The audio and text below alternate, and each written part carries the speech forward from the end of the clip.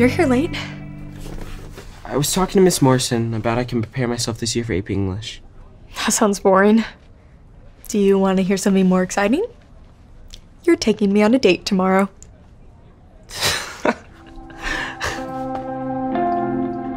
what? Diana, you used to call me Scotty Potty.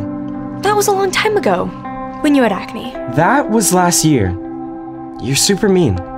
Anyone who's willing to date you must have no self-esteem. And I have bigger goals than getting tortured by a mean girl.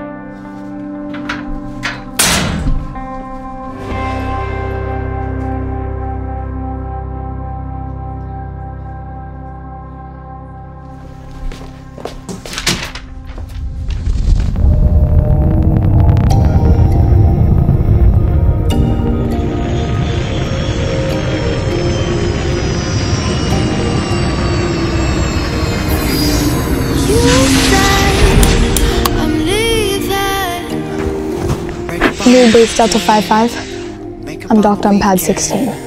It's heartbreak season. Are you even listening?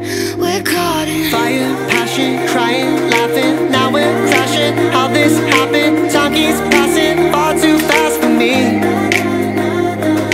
Pushing, pulling, kept it going. Touching, holding. I got stolen. up and over. Stretch it out forward.